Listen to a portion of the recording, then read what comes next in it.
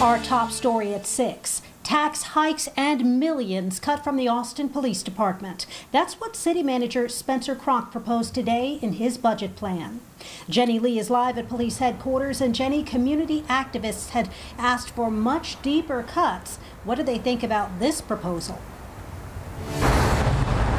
Well, Quita, the head of the Austin Justice Coalition, like you said, asked for $100 million to be cut from APD's budget, and other community activists asked for as much as $225 million. So when word came out that it was $11.3 million, just 2.6% of APD's uh, entire budget, they were beyond disappointed.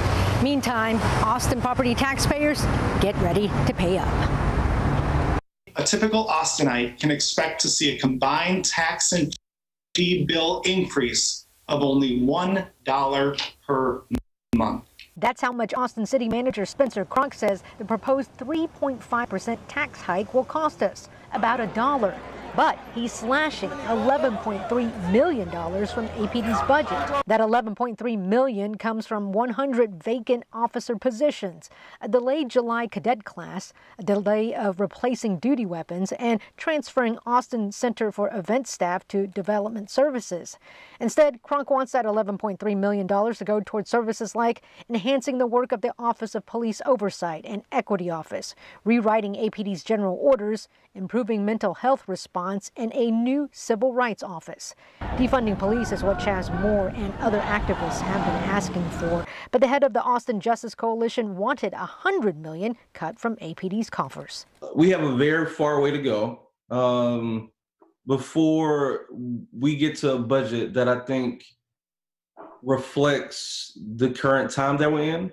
Right, I think we have a very long way to go before we have a budget that people can um, and when I say people, I mean the community can be proud of to say, hey, you know, I think we actually um, being heard. Ken Casaday, head of the Austin Police Association, is also disappointed, even though both Casaday and Moore agree, in theory, police need reform. We're disappointed in that. Um, we were trying to add 30 bodies this year.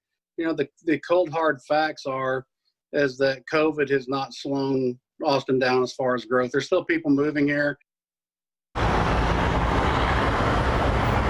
Manager Cronk released a lot more information. We've got that information on KVUE.com. Council will discuss the budget for the first time next week in the meeting on July 23rd. We're live at police headquarters tonight. Jenni Lee, KVUE News.